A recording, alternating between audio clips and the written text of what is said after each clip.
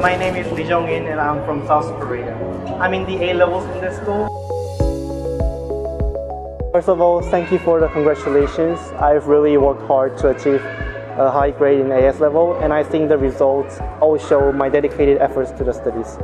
I would also like to thank my teachers and classmates for supporting and giving help to me. They were always there to help me and give support and they led me to the right direction for studies.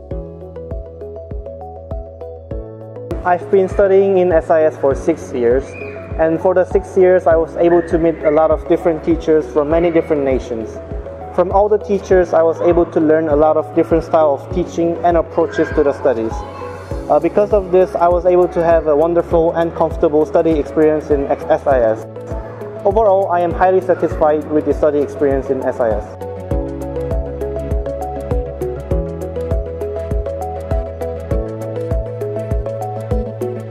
When studying for exam, I've encountered several difficulties and challenges. The teachers were always there to give me support. Even some of the teachers came out during the weekends to give me an extra lesson. Uh, because of this, I was able to improve my grade and I was able to achieve a high grade.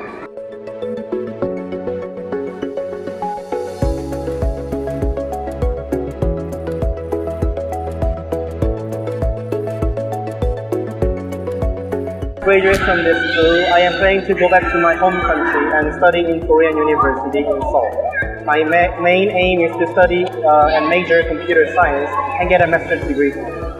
In long term, I would like to be an information security expert and work in tech companies such as Google or IBM.